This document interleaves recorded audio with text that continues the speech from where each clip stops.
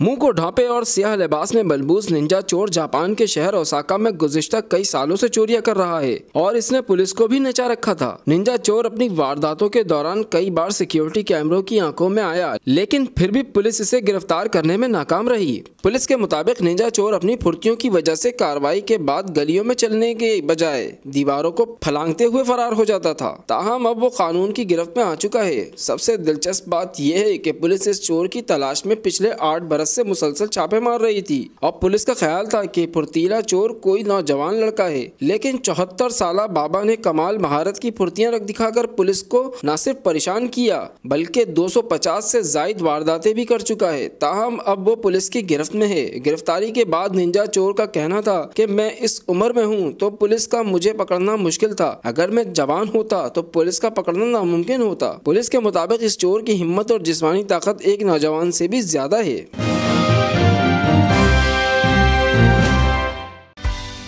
Subscribe channel to see latest videos. Click on bell icon get latest updates.